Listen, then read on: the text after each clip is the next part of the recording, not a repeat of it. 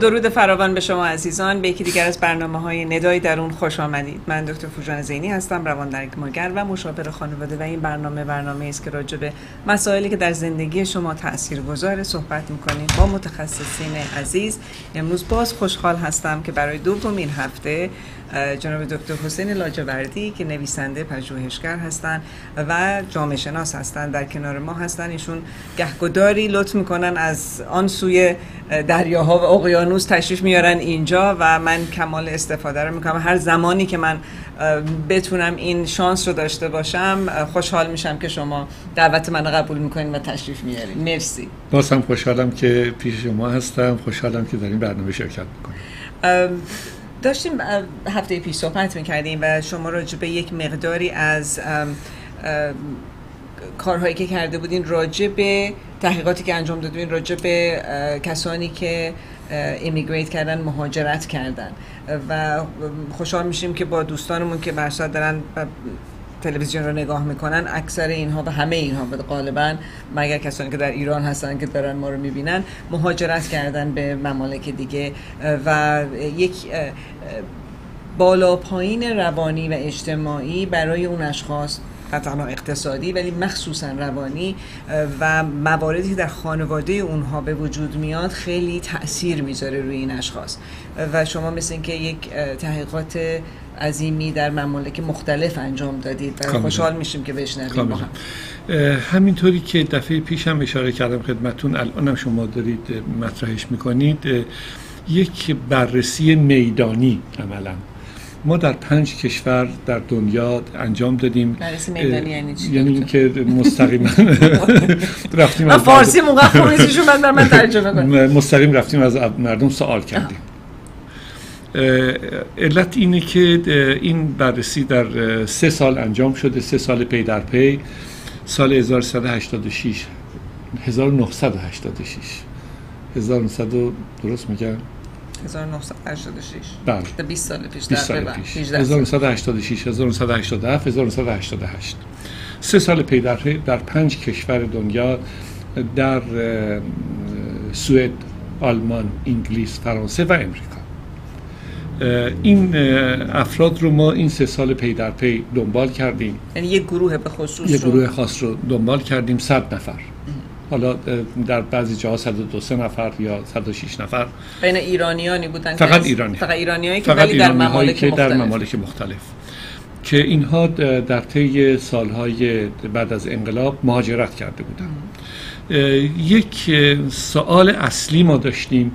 که شما چرا آمدید و چرا به این کشور آمدید؟ این سوال اصلیمون بود. چون استظهار دارید که می‌دونید که ایرانی ها امروز در تمام دنیا پخش هستند و بیشترین ایرانی ها به نسبت جمعیت کشور در سوئد هستند. به این شکل که سوئد نزدیک 9 میلیون جمعیت داره 85 هزار ایرانی درش هست. خب البته به طور طبیعی بعدش امریکاست که بیشترین جمعیت ایرانی درش هست و اروپای غربی فکر کنم انگلیس هم هست. انگلیس هم هست. به نسبت امریکا و گفتم خدمت تو مشخصتر باز بگم که اینی که من میگم بیشترین جمعیت به نسبت جمعیت اون کشور اینی که 85 هزار ایرانی توی یک کشور 8 9 میلیونی بالاترین جمعیت رو داشتن. بعدش از نظر تعداد جمعیت امریکا بعد کشورهای ترکیه و پاکستان کشورهای جنوبی خلیج فارس اروپای غربی و بعد همه دیگر نقاط دنیا افریقا حتی. در اروپای غربی که من همونجا زندگی می‌کنم در انگلیس فرانسه آلمان انگلیس بالاترین جمعیت ایرانی رو داره. یعنی حدود دویست هزار نفر. بله. بعدش آلمان حدود صد و چند هزار نفر و فرانسه کمترین جمعیت ایرانی رو. یعنی بین 13 تا 17 هزار نفر کل ایرانی های فرانسه و از این تعداد حدود 6 هزار نفرش در پاریس و اطراف پاریس هستند اینی که چرا به این کشورها سفر کردن سوال اصلی بود. علت این بود که مثلا به اروپای غربی بیشترین کسانی که آمده بودند اکثریت قریب به اتفاق اونهایی بودند که به یک نوعی با اروپا ارتباط داشتند بیشتر جامعه فرهنگی بود استادای دانشگاه بودن طبقه لایه اجتماعی در ایران بود که از شاید زمان اواخر قاجار و دوران پهلوی به اروپا رفت آمد داشتن یا در اروپا تحصیل کرده بودن. در اروپا تحصیل کردن برگشت بودن ایران برگشته بودن بله. یعنی یه ارتباط اینچنینی بود. به نوعی کشورهایی که در اروپا هست کشور دومشون بود. در امریکا بیشتر کسانی آمده بودند که توی بعد از انقلاب که در 15 ساله آخر دوره شاه بچه هاشون فرستاده بودن به امریکا. که برای درس خوندن. برای درس بله. خوندن که ارتباطات بین امریکا و ایران زیاد شده بود. پول نفت هم بود. ولی خب اکثر پدر مادرهایی که بعد از این دوره بعد از انقلاب آمدن الزامن جامعه فرهنگی و یا به نوعی انتلکتویل نبوده. بله. به دنبال بچه هاشون آمدن. ترکیه و پاکستان در زمره کشورهایی بود که بسیار نزدیک بود ویزا هم نمی‌خواست و ایرانی ها ترجیح دادن که اون طرف برن و کشورهای جنوبی خلیج فارس. یک کشور رو من در اینجا جا گذاشتم تو صحبتم مخصوصا که آخر سر بهش برسم و اون سوئد. سوئد. سوئد اون زمان هنوز آدم به کانادا مثل که نمی‌رفتن. کمتر. چرا؟ من امریکا و کانادا رو به عنوان امریکای شمالی با هم دیگه گرفتم که ببخشید که یادم رفت اسم کانادا رو اینطوری در اینجا بیارم. ولی سوئد کشورهای اسکاندیناوی و به خصوص سوئد یه مسئله خاص داشت. مسئله خاصش این بود که پارلمان سوئد یک لایحه‌ای رو گذروند چون جمعیت سوئد پیر شده بود. به این دلیل می‌خواستن که یک نیروی جوان و انرژی جوان بهش وارد بکنن. اون زمان گشتن به اینکه کدوم یک از مهاجرین دنیا بهترین مهاجرین هستن و اینها رو بهشون اجازه ورود بدن. چه جالب. بله خیلی جالبه. پس ما بهترین بودیم. دقیقا. اون موقع ایرانی ها البته اگر خودستایی نباشه ما هنوزم تو مهاجرین نه نه واقعا دارم میگم تو مهاجرینی که وجود دارن باز ایرانی ها جز اون گروه شاید برتر هستن. بله. الیتشون هستن. به حال به ایرانی ها در سوئد به یک باره یک زمینه رو ایجاد کردن که بر اساس قانون اساسی سوئد هم اگر که شما میرید فامیل درجه دوم سوم می‌تونن پای سرتون می‌تونه بیاد. یه پرانتز باز کنم اگه لطف کنین توضیح بدین که دلیل اینی که ما در بین مهاجرین دنیا رده بالاتری رو بگیریم و بیشتر شاید منفعت داریم برای اون ممالک چی هست؟ ببینید خیلی روشنتر خدمتتون بگم. ما از یک جامعه ای میایم که از نظر تاریخی از یک امپراتوری میاد. از نظر سطح سواد و نیروی انسانی در جامعه جایگاهی رو در بین کشورهای مهاجر فرست داشتیم که الزاما نمی‌خواستیم هیچ وقت مهاجرت بکنیم اگر انقلاب نمی‌شد. به این معنا گروهی که مهاجرت کردن اکثرا آدمای تحصیل کرده بودن اکثرا از یک طبقه مرفه. بودن به خصوص نسل اول مهاجرت. ولی استثناش در اینجا در سوئد بود که چون یک باره راه رو باز کردن خب ایرانی هم به سوئد اصلا نمی رفتن و می‌دونید با وجودی که مشکلات سیاسی زیادی در حکومت قبل از انقلاب حکومت دوره پادشاهی بود ولی مشکل مشکل سیاسی بود. با این همه ما فقط یک نفر پناهنده سیاسی در انگلیس داشتیم. بیشتر نبود. در حالی که در حال حاضر بسیار گسترده است. تو سوئد اینهایی که رفتن به عنوان مهاجر الزامن از طبقه انتلکتوئل نبودند. یعنی امکانی بود که قاچاقچی راه رو باز کرده بود و بسیاری رو به همراه خودش می برد در نتیجه میزان سواد توی ایرانیان مهاجر سوئد در نسل اول بسیار پایین بود. برخلاف اروپا و کشورهای دیگه. بله. مشکلات عجیب و غریبی در اونجا ظهور کرد. اجازه بدید بعد از این بلافاصله برگردم به مسائل اجتماعی و روانشناسی اجتماعیشون. مشکلات زیادی بروز کرد. طلاق به اوج خودش رسید. البته این رو هم خدمتتون بگم که گذشت از اینکه ما گفتیم ما برتر بودیم تو سوئد هم هم خانم های ایرانی هم مردای ایرانی خیلی جا داشتند. به خاطر قیافشون به خاطر قیافشون هم از نظر حضورشون و قیافشون دقیقاً خیلی زیباتر بودن بله خیلی زیباتر بودن. حالا تعریف داره البته زیبایی. ولی همین که ما اصولا چه مردمون چه زنهامون بیشتر سبزه بودن در مقابل اون بوری سفید مانند سوئدی خیلی جا داشتن. اجازه بدید یه انکدوت اینجا بگم از یک واقعی که من تو سوئد دیدم. من تو سوئد چندین بار رفتم برای این مطالعه. به یک خانومی برخورد کردم. این خانوم سوئدی بود. این خانوم پنج بار ازدواج کرده بود. هر پنج بار با ایرانی ها. نمی‌دونم این خوبه یا راجب, به مرد ایرانی چی میگه رو نمی‌دونم. آره. ولی اجازه بدید قضاوت نکنیم در سوال در سوال میمونید دقیقا دقیقا. ولی اینو بخوام خدمتتون بگم که به این معنا این گروهی که رفتن به سوئد دچار مشکلات اجتماعی فرهنگی زیادی شدند. سوئد جایی نبود که ایرانی ها توش باشند. برخلاف اروپای غربی اروپای شمالی رو کسی نمی‌رفت به دلیل سرما به دلیل نمی‌دونم این فصل بندی تاریکی و روشنی و اینها. ولی سوئدیا خیلی زمینه فراهم کردند.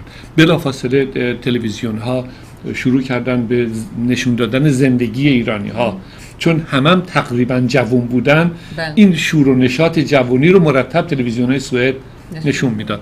ولی به هر حال مشکلات اصلی که اینا پیدا کردن مسئله جدایی خانواده بود که به طلاق می انجامید امکانات هم در اونجا بسیار گسترده بود. خب یه عده به دلیل فرهنگی دچار مشکل شده بودن. یک عده هم به دلیل اقتصادی خودشون دچار مشکل کردن. بله.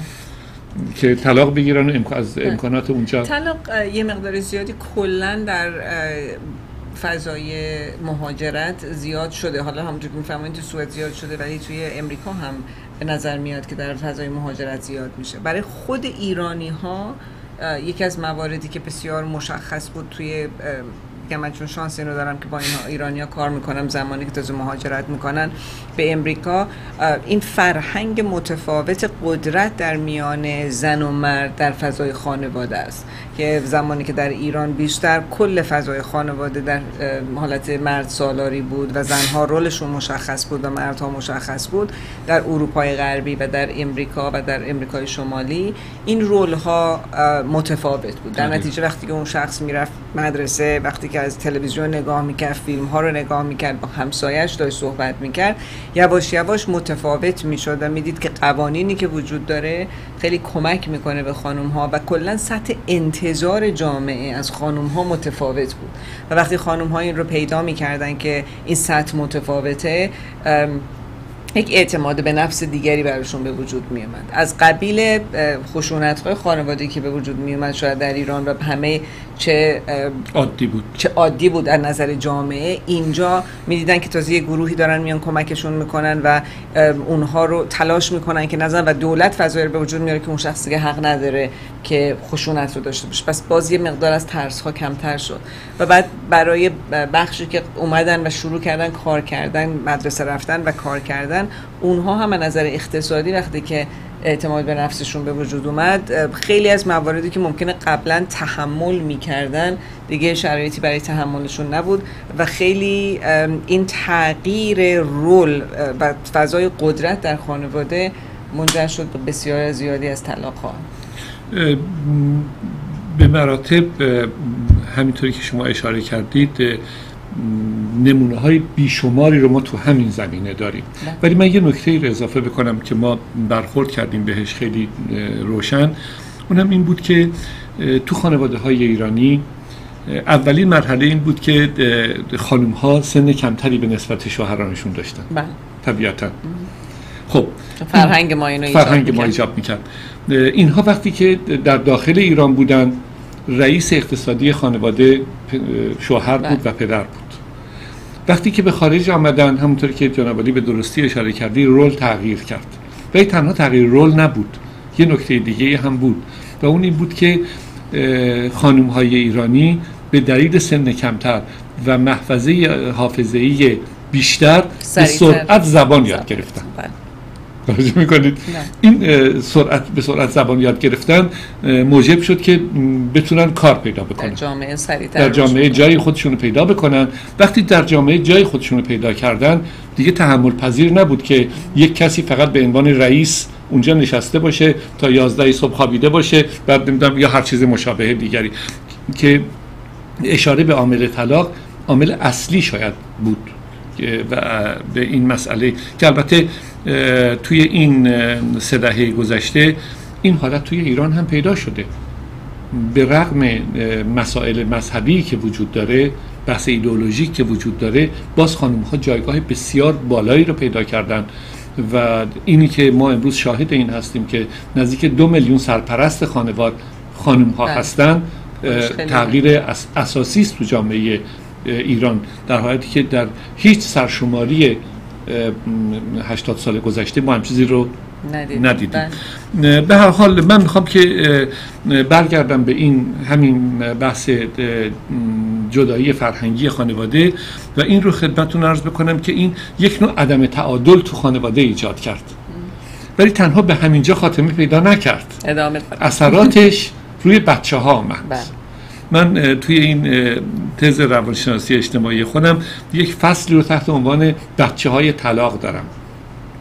که این بچه های طلاق که یه نوعی الان نسل دومن و بچه های اونا نسل سوم امروز ما هستن اثرات بیشماری روشون گذاشته شد. اثراتی که ما در بسیاری از موارد می‌بینیم که به اعتیاد انجامید. به خشونت هایی انجامید که در ارسیه وجود داشت. بله. توجه می‌کنید. البته خب در عمل این بچه ها اونهایی که از خانواده طلاق نمی آمدن یا اگر از خانواده طلاق می آمدن از یک خانواده تثبیت شده می آمدند که اثری رو بچه ها کمتر بگذاره. می بینیم که دارای موفقیت های بسیار بسیار بالایی توی خارج از ایران شدن. من فکر می کنم که مسئله که برای من میمد اینه که یکی از مواردی که اتفاق میفته در مهاجرت خیلی جالبه که تشویش و استراب و خشم و غم و افسردگی تنهایی همه اینا احساساتی که کلا میاد. یعنی برای حتی کسانی که مایل هستن که مهاجرت بکنن یک اتفاق درونی میفته اونم اینه که قبل از اینه که مهاجرت بکنن شروع می‌کنن از اون فضایی که هستن خسته شدن و کلافه شدن. برای اینکه ما برای اینکه از یه جایی دل بکنیم که بریم باید اون رو بده بکنیم و یک جای دیگر رو افسانه پروری براش بکنیم که چقدر زیباست و چقدر عالیه و یک حالت ایدئالی ازش در ذهن خودمون به حالت افسانه به وجود بیاریم. پس در حول و حوش قسمت فقط رفتن ما باید دو قسمت رو به وجود بیاریم که تقسیم میشه. یکی بد کردن اون جایی که هست یعنی شروع کنیم فقط مسائل بعدش رو ببینیم و عالی کردن اون جایی که داریم میریم سراغش. بعد از اینی که معمولا میایم به اون مملکت میزبانی که داریم میریم سراغش اونجا خیلی خوب بعد از یه مدت کوتاهی انقدر برای خودمون یه سری چیزا رو ایدئال کردیم و یا نمی‌دونستیم. بعد دیگه حالا فامیلامون پسر خالمون دختر خالمون گفته بیا هیچ اشکالی نداره. همه کارا رو من برات انجام میده هستم. عملا میایم و بعد از یه مدت خیلی کوتاهی اتفاقی که برامون میفته می‌خوره تو صورتمون. Disappointed میشیم. برای اینکه اون ایده هایی که برای خودمون به وجود آورده بودیم عملا صد درصدش که به وجود نیامده شاید سی درصدش به وجود بیاد. و در این فضا یک دفعه اون حالت برعکس میشه. یعنی اینه که حالا بدیای این جایی رو که ایدئال کرده بودیم می‌بینیم و دلتنگی برای اون جایی که ازش رفتیم و حالا همه اون چیزایی رو که ناراحتمون کرده بوده میره کنار از اون مملکتی که اومدیم و اونجا برمیگرده و حالت نوستالژی میشه. چقدر خوب بود چقدر عالی بود دلتنگی ها به وجود میاد و دردی که اون رو باید رها بکنیم و بعد حالا با disappointment و تأسفی که داریم نسبت به اتفاقی که داره میفته و حالا تازه باید نگاه بکنیم به راه چاه پیدا کردن که چیکار بکنیم و موارد رشد در این موقعیت می‌تونین نگاه بکنیم که چقدر احساسات داره بالا و پایین میره. آدم ها به خاطر اینکه تک تک افراد خانواده این داره درونشون اتفاق میفته خیلی موقع ها شروع می‌کنن با هم برخورد پیدا کردن. یک نفرشون دلتنگی می‌کنه و یکی میگه به خود دلتنگی نکن و شون کن بحث کردن با هم دیگه. و توی این فضای بحثی که به وجود میاد همدیگر خیلی موقع ها آزار میدن. توی اون فضا تشویش و استراب هست. خیلی از بچه هایی که بچه های کوچیک یا نوجوان هستن که در این خانواده ها دارن میان و عملا تصمیم اونها نبوده فقط جزوی از این مسیر هستن نه تنها فضای جدید رو برای خودشون تشویش استراب دارن بلکه تشویش استراب پدر مادرهاشون رو و تمام بالا پایین اونها هم قسمتی از زندگی اونها و تجربه اونها میشه. و هر کدوم نسبت به سنی که دارن اونها هم باید زبان جدید یاد بگیرن اونها هم باید دوستای جدید توی مدرسه پیدا بکنن. و نه میگم تشویش استراب خودشونو دارن مشکلات خودشونو دارن ولی بار احساسی روزمره فضای خونه اضافه میشه. چون تو حالت عادی که شما میفرمایین همه چی سر جاشه بچه ها در نوگرایی و رفتن و چیزای جدید پیدا کردن تشویش و استراب دارن. ولی فضای خونه قاعدتا اون امنیت رو داره که اونا میرن جدید یاد می‌گیرن برمیگردن. امنیتشون رو دارن دوباره میرن برمیگردن.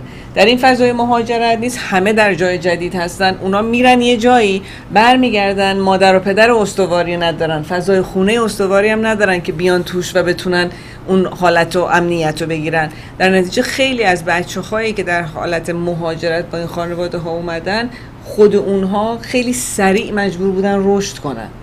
از جایی که ممکنه مثلا یک چهار پنج ساله خیلی سریع بعد رشد می‌کرده. یه نوجوان سیزده ساله بعد خیلی سریع رشد می‌کرده.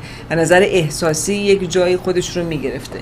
برخی از اینها به خاطر این تشویش و استرا و این سرعتی که دارن به خودشون میدن می‌بینیم که میرن به طرف اعتیاد و بقیه موادهایی که بتونن اون احساسات رو پایین بیارن. پایین کاملا درسته. منتها خود شما بهتر می‌دونید دیگه.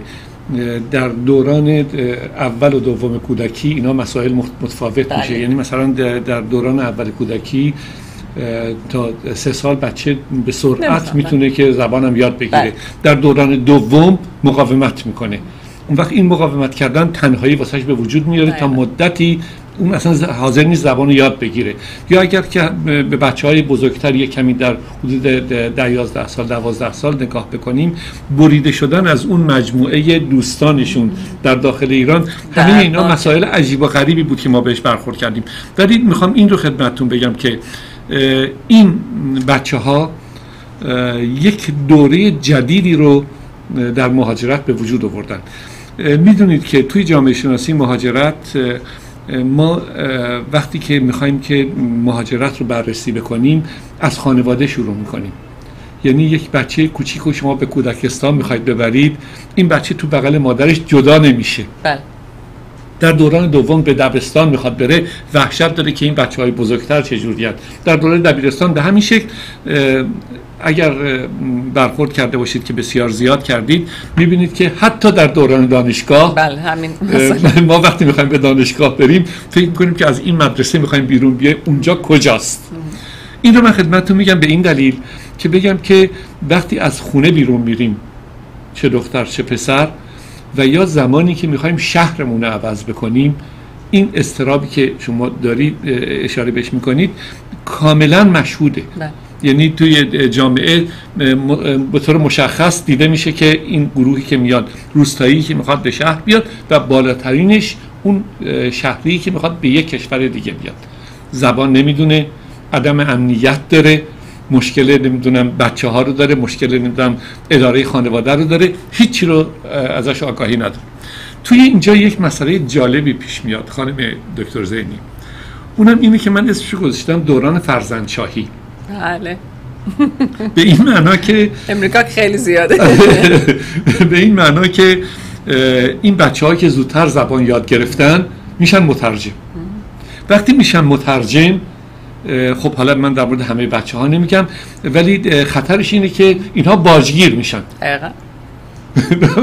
توجه می‌کنید؟ باجگیر میشن که اگر بخوای من ترجمه بکنم تازه اگر درست ترجمه بکنه. یعنی چه بسا که من شاهد این بودم تو این بررسی ها که مثلا پدر مادر بچه رو به مدرسه می‌خوان معلم یک شکایتی رو داره که این درست عکسش رو ترجمه می‌کنه. و در نتیجه این فاصله رو افزایش میده. فاصله رو وقتی افزایش داد معنیش به روشنی اینه که از جایگاه خودش تغییر. تغییر پیدا می‌کنه و دیگه معلوم نیست کجاست. وقتی تغییر پیدا کرد می‌تونه همه جا سرازیر بشه پرتگاه واسش به وجود بیاد. این دوران فرزندشاهی که من اسم روش گذاشتم یکی از خطرناکترین دوران هاست. مخصوصا برای نوجوانان. برای نوجوانان. بله. و به همین دلیل من می‌خوام با اجازهتون اینجا یک توصیه ای رو واقعا بکنم که اگر ما می‌خوایم به یک کشوری مهاجرت بکنیم اولا همه پولا رو خراب نکنیم. به یک باره همه پولمون رو دلار نکنیم یا یورو نکنیم. چون طبقه بندی کردید شما اونهایی که اونجا رو بد جلوه میدن می‌خوان یه جای دیگه بیان که ایدئال جلوه بدن. بعد دوران دچار نوستالژی میشن. دوران نوستالژیک دوران خطرناکتری است. بله. ما اصلا خیلی کوتاه خیلی کوتاهی است و ما نمی‌دونیم چیکار بکنیم. گاه وقتی که همه زندگیمون از دست دادیم سعی می‌کنیم برگردیم. یکی اون یکی این که مثلا کسانی که به هر صورت در یک مملکتی کار کردن در کمپانی ها شرکت ها کار کردن و یا اینی که business داشتن. فرهنگ نه تنها فرهنگ اجتماعی ما متفاوته به خاطر اینکه فرهنگ اجتماعی ما متفاوته فرهنگ کمپانی ها در ایران متفاوته. فرهنگ business زدن متفاوته. و چون یک نفری اونجا تونسته این کار انجام بده در ذهنش اینه که اگر من اینجا مهندس بودم architect بودم پزشک بودم یا business داشتم و کار خودم رو انجام می‌دادم که من اگر برم در این مملکت چون این مهارت رو دارم همون مهارت رو می‌تونم استفاده بکنم. در حالی که عملا الزاما این اتفاق نمیافته. به خاطر اینکه اون تا یک شخص بیاد فرهنگ business و فرهنگ کمپانی و جای جدید رو بشناسه ورای فقط زبانش طول می‌کشه. و خیلی از اشخاص این قسمت رو چون متوجه نبودن خیلی از فامیلاشون هم بهش می‌گفتم ببین تو این کاری که بلدی تو فقط بیا امریکا من این کمپانی رو می‌شناسم تو رو می‌ذاره رو کلت و میبرت تو امکان نداره تو یک روز بدون کار بمونی. در حالی که وقتی اون شخص میاد ممکنه که همین اتفاق براش نیفته. و اونجاست که می‌بینیم که خیلی داغون میشه. و یک مسئله رو که شما مطرح کردی راجب فرزند شاهی.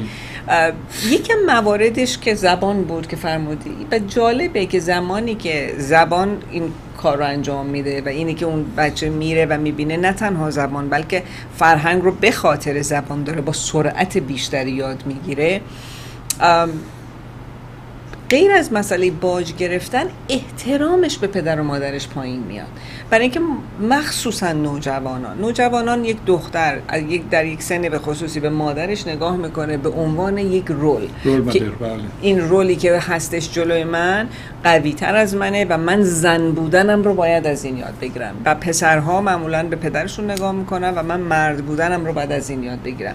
و وقتی که می‌بینن که در اون زمان به خصوص مادر یا پدری که خیلی موفق بودن قوی بودن مسائل رو مشخص می‌کردن. امروز در شرایط مختلف به تزلزل افتادن نگاه اونها از فضای قدرت از خانواده و از اون پدر یا مادر میاد کنار و به خاطر همینم حس می‌کنن که یکی بالاخره اینجا باید تصمیم گیر باشه, تصمیم گیر باشه.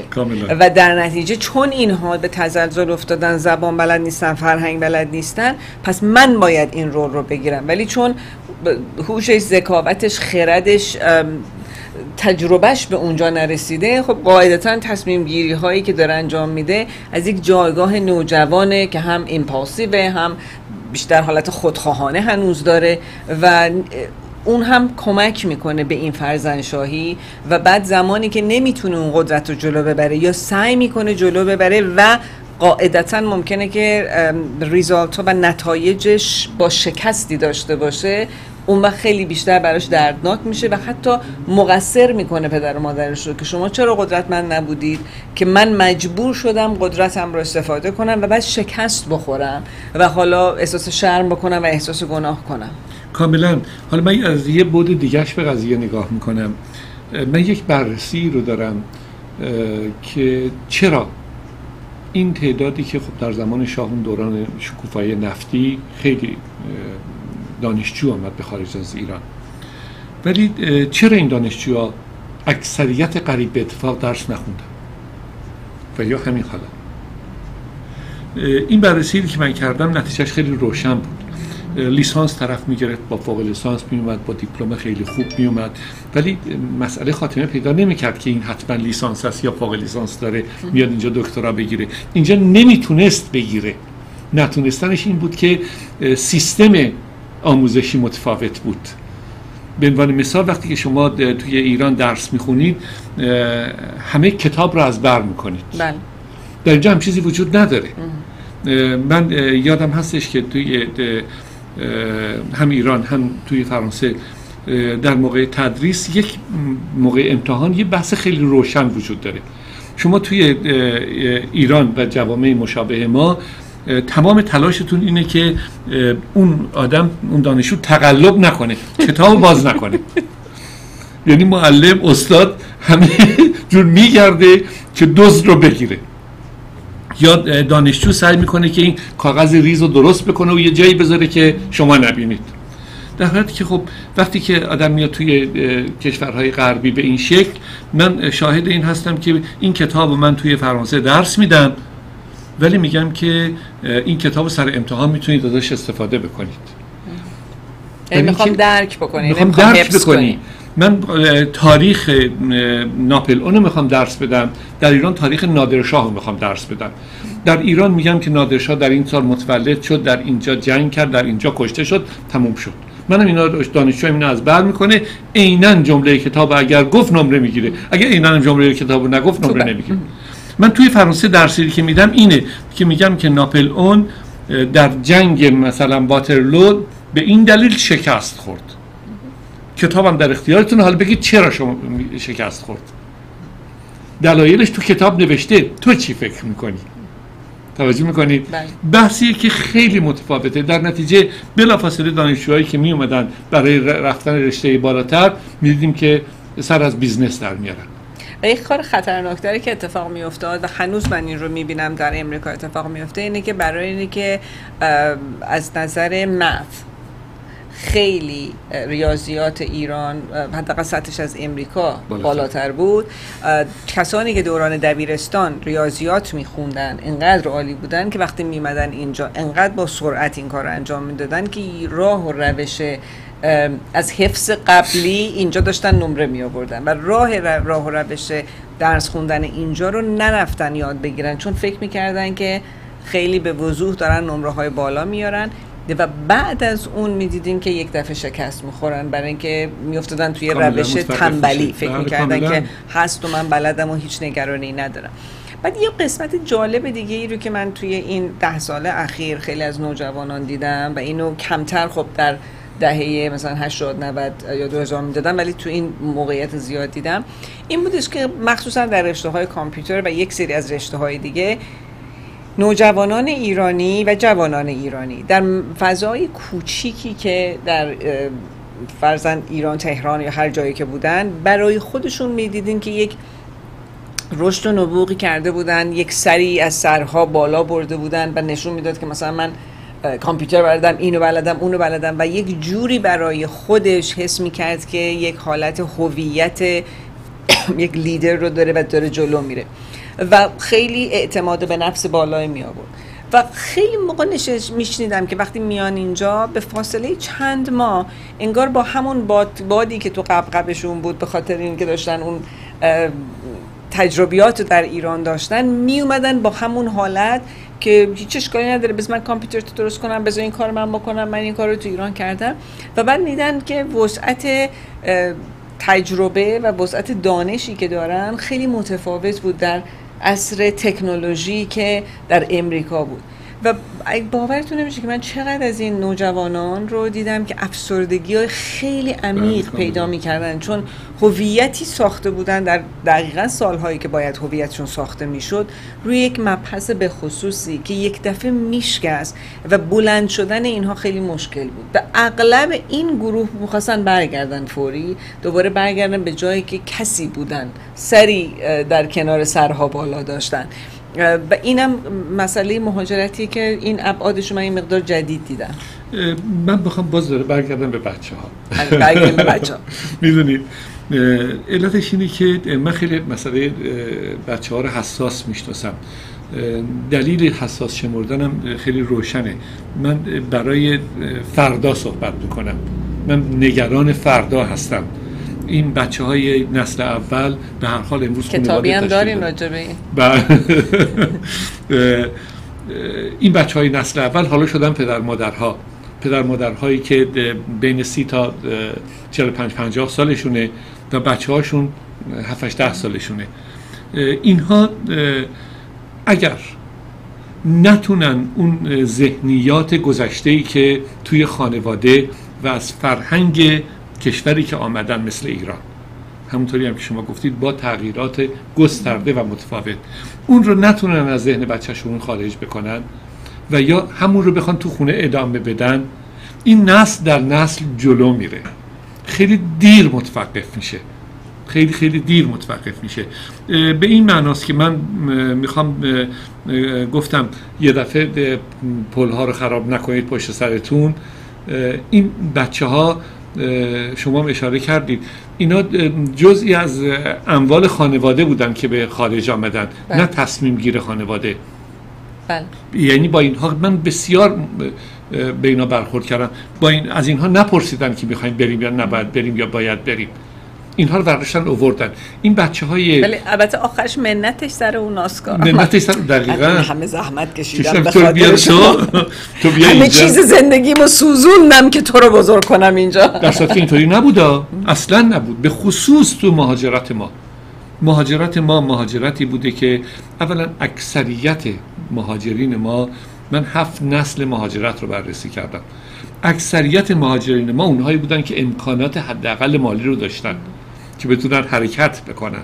چون این خیلی تفاوت می‌کنه. الان تو هر کی توی ایران به هر کی که می‌رسید می‌خواد بیاد خارج.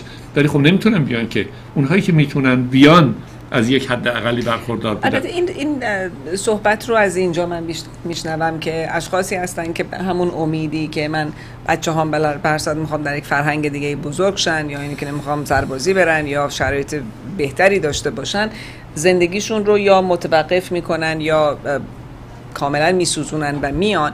و خیلی موقع این بحث بر اینجا پیش میاد که بعد از 6 ماه یا یک سال اون شخص برمیگرده میگه من نمی‌تونم اینجا بکشم و جمع کنیم برگردیم. و تو این جمع کنیم برگردیم حالا دیگه بچه ها میگن نه. میگن ما نمیایم.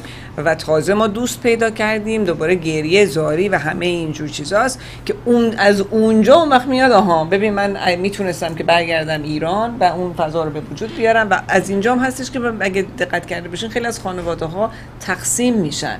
یعنی می‌بینین مادر با پدر بله مادر با, با بچه ها اینجا میمونه. و بعد پدر میره و اونجا هم یک مدل حالا اسمش هم طلاق نذاریم به هر صورت خانواده متلاشی. متلاشی و از از هم دیگه جدا شده. البته همش احساسی نیست. یه سری شرایط مملکت هم ایجاب می‌کنه که به هر حال آقایون اونجا بیشتر تنها زندگی بکنه بله بیشتر. ولی یه نکته دیگه می‌خوام خدمتتون بگم. من باز برخورد کردم به خانواده های مهاجری که یه نمونهش خیلی انگیز بود واقعا. یک خانواده همینطوری اول انقلاب آمد با بچه های کوچیک سه تا دختر در این خانواده. این دخترها به ترتیب 14 16 18 19 سال شدن. این پدر خانواده به دلیل تعصبی که داشت که من بچه ها دخترامو نمی‌خوام توی فرهنگ غرب بزرگ بشن با همه مسائل احساسی روانی که برای دخترها به وجود آمده بود واقعا اینها رو با اجبار برگردون, برگردون به اونجا و اون وقت وقتی که آدم دنبال می‌کنه که این دخترها به چه سرنوشتی دچار شدند چون می‌دونید یکی از کارهایی که ما تو جامعه شناسی می‌کنیم برای رسیدن به یک جامعه کامل طبیعتا باید بر رو فرد مطالعه بکنیم که موردی ببینیم به کجا می‌رسه. و واقعا این هم منظر فرهنگیش بسیار مهمه. تو میاد تو یک جامعه باز از یک جامعه بسته. از یک جامعه ای که بسیار محدودیت براش هست. و میاد به یک جامعه بازی که دیگه نمی‌دونه چی کار بکنه. اینو خدمتتون بگم. ما یک مرکزی رو در انگلیس داریم در رابطه با مسئله پناهندگان که به پناهندگان کمک می‌کنه. خب توی انگلیس هم می‌دونید که تعداد پناهنده ایرانی خیلی زیاده بله. و همه دلشون می‌خواد به جای کشورهای دیگه اروپایی به انگلیس بیان. هم زبونش بیشتر توی ایران رایجه هم امکانات پناهندگی راحتتر راحتتر برای مشکلتر دارن می‌گیرن این حرفا. ولی می‌خوام این خدمتتون بگم خیلی جالبه. این بچه ها چه دختر چه پسر که میان اونجا اولا اکثریتشون لحظه اول ورود وقتی که معرفی میشن مثلا به ما لحظه اول ورود فحش میدن به دین به مذهب به هر چی که برای به نوعی هویت واسهشون بوده در جامعه قبلیشون. چند وقت میگذره؟ شیش ماه یک سال دو سال؟ اینا می‌رسن به دادگاه. وقتی برای ورود به دادگاهه تنها مسئلهشون اینه که به حضرت عباس متوسل میشن. به دست بریده حضرت عباس. به امام حسین به کی به کی؟ که یه جوری تو دادگاه قبول بشن.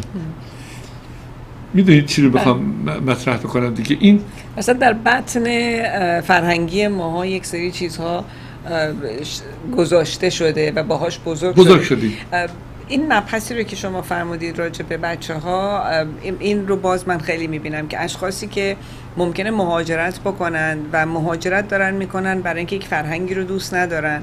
ولی در فرهنگ جدیدم که میان می‌خوان اون رو انتخاب بکنن که چه قسمتیش رو دوست دارن.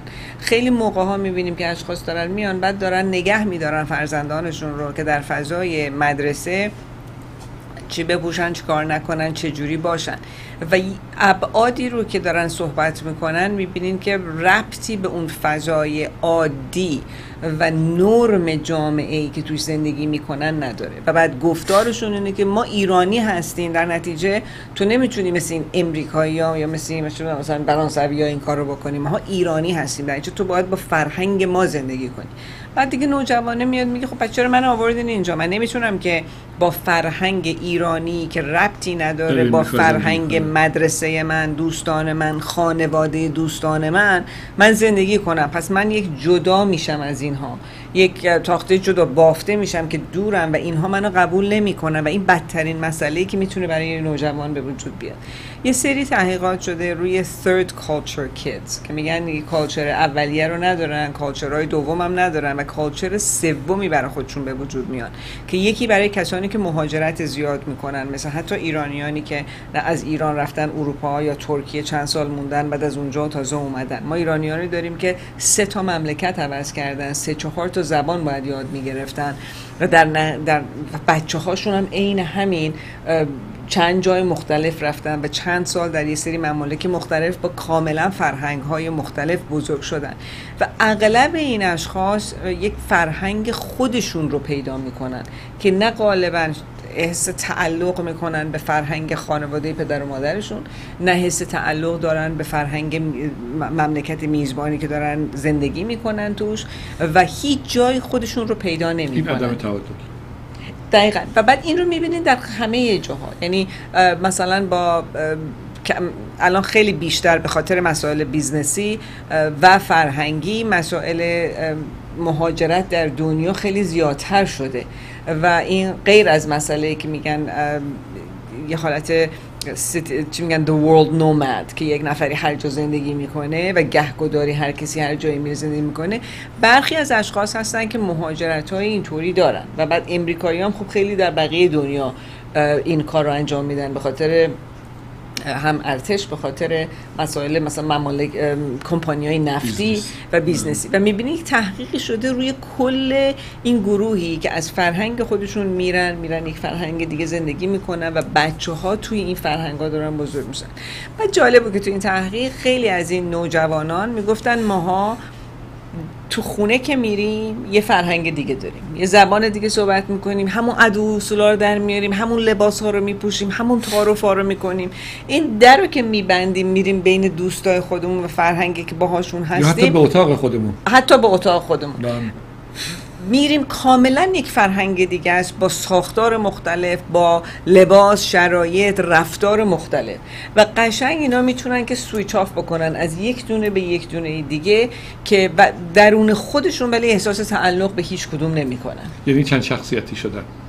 چند فرهنگ شدن. حالا شخصیتی رو آره. که چند رول رو بازی, بازی می‌کنن در حقیقت. حالا مگر اینکه خیلی مسئله براشون چیز بشه کاملا از هم جدا بشه. من یه نکته ای رو بگم چون می‌خوام برگردم به بحث بچه ها نه نه بچه های فردا. بچه های فردا این رو می‌خوام خدمتتون بگم که این بچه هایی که میان دختر و پسرهایی که میان برای پناهندگی به خصوص دخترها. پسرها البته همینطور کم از دخترها ندارن. بلا فاصله بعد از اینی که از اون روپوش و روسری بیرون میان میان تو یک جامعه آزاد فکر می‌کنن که اینجا واقعا همه خانم ها همیشه نمی‌دونم با مایور را میرن یا نمی‌دونم فلانن آرایش های آنچنانیه. اصلا شما نمی‌تونید تصور بکنید که روزهای اول به خصوص این دخترها چه قیافه هایی رو خودشون رو درست می‌کنن میان. ولی کم کم در عرض چند ماه تعادل پیدا میشه و مثل مردم عادی میشن.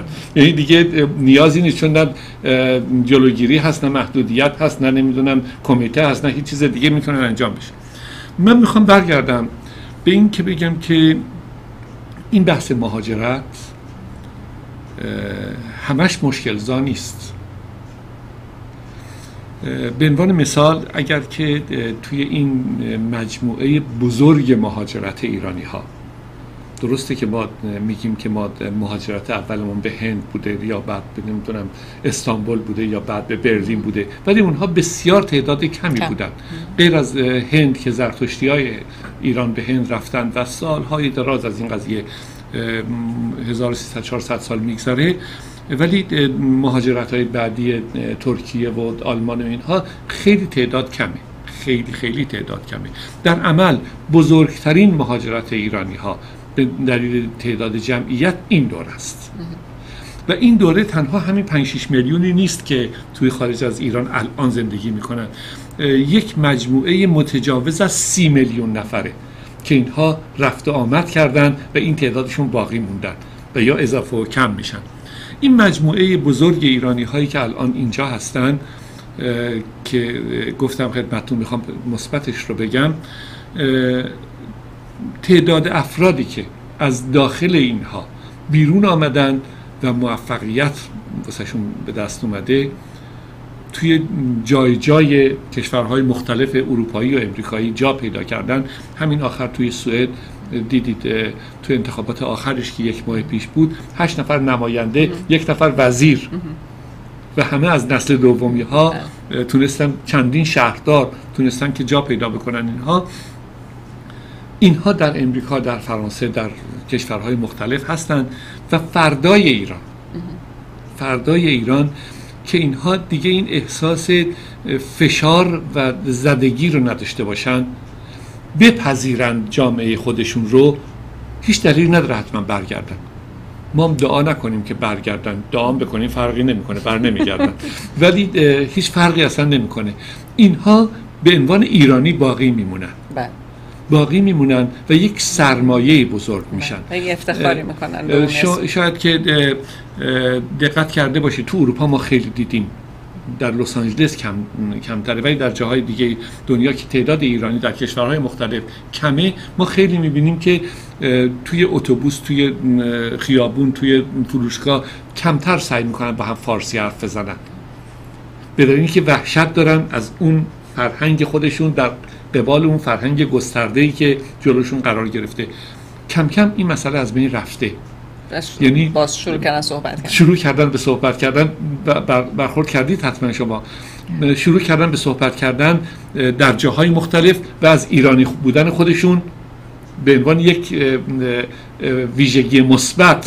بله. این دو تا قسمت مختلف داره و من اون رو نگاه کردم به اینی که بچه ها تا حداقل زمان دانشگاه که می‌رسن یه مقدار زیادی اون هویت پدر و مادر رو دارن کنار می‌ذارن و میرن به جای جدید. بعد خیلی از این اشخاص یواش یواش در دورانه که هویت خودشون رو ساختن و دارن مثل اینکه هویت جدید خودشون رو ساختن حالا احتیاج دارن که گذشتهشون رو هم بیارن بهش وصل بکنن. اونجاست که می‌بینین که مثلا کلاس های فارسی که در دانشگاه ها اینجوری داره زیاد میشه مقدار زیادیش به خاطر اینکه خود نوجوانان دیگه به هویت رسیدن می‌خوان میان سوال می‌کنن از پدر مادرشون دوست دارن شروع می‌کنن یواش یواش فارسی رو حتی با لهجه شده صحبت می‌کنن با دوستانشون که انگار پیدا کردن خودشون رو و بقیه رو دارن میارن و در اون فضا وصل می‌کنن و این خیلی کمک می‌کنه. قسمت دیگه من فکر می‌کنم که ربط پیدا می‌کنه به زمانی که مثلا من زمانی که اولش اومدم امریکا 1974 75 شما وارد امریکا که می‌شدی می‌گفتی ایرانی هستی فکر می‌کنن که حتما که چاه نفت داری و حتما هم جزو royal family ای هستی. یعنی ابعاد فکری این بود. و تا می آمدن با حرف می زدن راجع به تمام منابع ایران و تمام مسائلی که داره و خاویار ازت می‌خواستن و فرش می‌خواستن و فکر می‌کردن princess و prince ی ولی به فاصله مسئله خب گروگانگیری تو همین جا یا تو خیلی از جاهای یک دفعه دیدیم اون آدم دیگه نمی‌گفتن ایرانی هستن. تا قبلش که تازه با سرمون هم می‌گرفتیم شونمون رو بالا می‌گرفتیم راه می‌رفتیم خب می‌گفتیم نیستن. آدما می‌گفتن نیستن. می‌گفتن ایتالیایی هم ترکن انواع و اقسام ممالک دیگر رو به خودشون میبستن ولی نمی‌گفتن. و در نتیجه من فکر می‌کنم که یه مقداریش هم ربط پیدا می‌کرد به اینی که آیا من احساس خطر می‌کنم یا احساس می‌کنم که منو بله، از کمپانی بیرون می‌کنن مشکل. دیگه. بله، مثلا امنیتی داشتن. و اونجاست که باز تا زمانی که یه مقداری مسائل از نظر دنیا راحت تر بشه و ابعادی که در دنیا داره ما رو می‌بینه راحت تر ما رو ببینه در نتیجه بیشتر ما رو قبول می‌کنن. اگر که نه خب همه ماهایی که به هر صورت جزء یک فرهنگ هستیم شروع می‌کنیم احساس خطر کردن و سعی می‌کنیم که در جایی که ممکن امنیت نداشته باشیم خودمون برگردیم. دلم خود قبل از اینی که این پنج دقیقه که داریم هم شما راجع به کتاب های خودتون و اینی که چطور دوستان می‌تونن که کتاب های شما هم در اجازه بدید من یه نکته رو فقط اینجا اشاره بکنم. برگردم به دور سال اولیه‌ای که ما چرا برتر هستیم؟ این رو می‌خوام بهتون بگم که تو جامعه شناسی مهاجرت ما وقتی که به مهاجرین دنیا نگاه می‌کنیم مهاجرت های دنیا اکثریت قریب به اتفاقش از نمی‌دونم اون فلسطینی که بالاترین مهاجرین بودن از هندی از پاکستانی از ترک از الجزایری از مراکشی همه اینهایی که مهاجر فرست بودن اینها بیشتر به دلیل اقتصادی بودن. مهاجر اقتصادی بودن. در نتیجه اون بستر واسهشون وجود نداشت که نسل دومشون زود بتونه جای خودش پیدا بکنه. در مورد ما اینطوری نبود. مهاجرت ما بستر مهاجرت ما جایگاهی بود که به راحتی پدر و مادرهای مخصوصا نسل اول از یک امکانی در داخل کشور خودشون برخوردار بودن و این بچه ها در بستر فرهنگی اقتصادی اجتماعی بالاتری تو جامعه بله. خارج آمدن یکی از باسوادترین گروه مهاجر هستیم مهاجر هستیم بله. و به این معنا این خدمتتون داشتم می‌گفتم که در یک آینده بسیار نزدیک ما یکی از ثروتمندترین کشورهای دنیا هستیم. نه به دلیل نفت و گازمون به دلیل نیروی انسانیمون. نیروی انسانیمون که اگر که شما امروز یک کشوری می‌خواد به یه جای سفیر بفرسته اون بره زبون اونجا رو یاد بگیره. ما همه دیگه جزء این کشورها شدیم. به نتیجه یه نماینده خوبی برای کشور خودمون خواهیم بود و می‌تونیم که بگیم که ثروتمندترین کشور دنیا حالا از اینجا و مرسی. ممنونم از تمام اطلاعات و تحقیقاتی که برای ما آوردین که فکر می‌کنم به همه ماها که داریم گوش میدیم به دلمون مینشینه چون تجربه شو داشتیم. به حال لطف کردید از من این سوال کردید. همه کتاب های ما دوازده جلد کتاب در رابطه با مسائل انجمن پژوهشگران ایران داریم. چندین جلد کتاب خود من هست. آخرین کتابمون فردا بعد از ظهر منتشر میشه. همه اینها رو روی سایت انجمن پژوهشگران ایران aciiran.com پشت سر هم دیگه A C double I A C I I A C I I R A N A C I ایران دات کام. بعد خبر خوشم می‌خوام بهتون بدم که مرسی از اینکه آوردین. کتاب ما که نویسندش خانم مهناز عطارها و من هستم قراره که فردا شب توی شرکت کتاب این صحبتی بشه راجبش و اونجا هستیم که برای شما عزیزانی هم که مایل هستید کتاب رو داشته باشید براتون امضا بکنیم. و خبر خوش اینه که جناب حسین دکتر حسین لاجوردی هم اونجا خواهند بود و قراره که راجب کتاب یک صحبتی بکنن خانم هما سرشار و عزیزان دیگری اونجا خواهند بود که بتونن که راجب کتاب که خوندن از دیدگاه خودشون نقدی بکنن. خوشحال می‌کشیم که شما عزیزان داشته باشیم. ساعت اه، شیش و نیم پنجشنبه فردا شب شیش و نیم در شرکت کتاب. پنجشنبه 13 نوامبر شیش و نیم در شرکت کتاب در وست بود خوشحال میشیم که شما عزیزان رو ببینیم. ممنونم از اینکه از لطف کردین تشریف. آوردید تا هفته آینده ممنونم از اینکه با ما بودید و روز و شبتون خوش.